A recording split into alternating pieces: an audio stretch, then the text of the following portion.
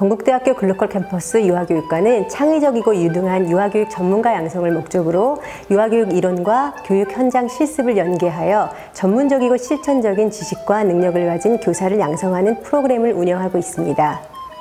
두 개의 자격증 취득을 위해 유아 교육, 보육과 관련된 과목을 제공하고 있고 교사 자격증에 반드시 필요한 교직 과목을 이수하도록 하고 있습니다. 건국대학교 글로컬 캠퍼스 유아교육과에서는 영유아에 관한 전공 지식을 배웁니다.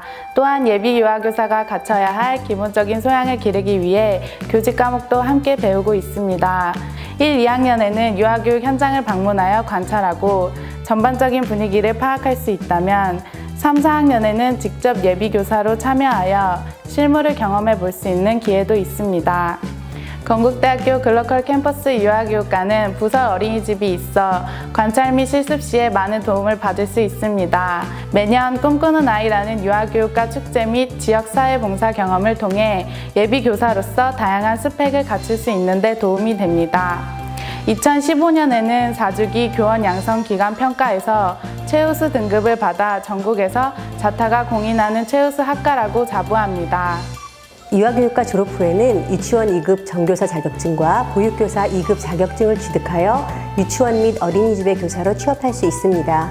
또한 공립학교 임용시험에 노력을 기울여 해마다 지속적으로 입용고시 합격생을 배출하고 있습니다. 그 밖에 유아교육 행정기관, 아동용 교재교구 및 컴퓨터 소프트웨어 제작사, 출판사, 방송국, 아동상담, 심리연구소 등에 취업할 수 있으며 대학원에 진학하여 학계로 진출하기도 합니다.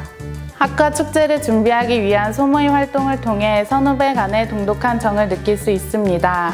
매년 11월에 진행되는 꿈꾸는 아이 축제를 준비하기 위한 일련의 과정들이 학생들에게 책임감과 다양한 경험의 기회를 주어 후에 실제 유아 교육 현장에서 전문적인 지식을 실천할 수 있는 교사가 될 수 있도록 도움을 줍니다.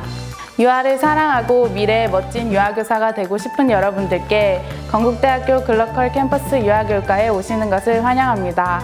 건국대학교 글로컬 캠퍼스 유아교육과에 오셔서 여러분의 꿈을 마음껏 펼쳐보시기 바랍니다. 화이팅!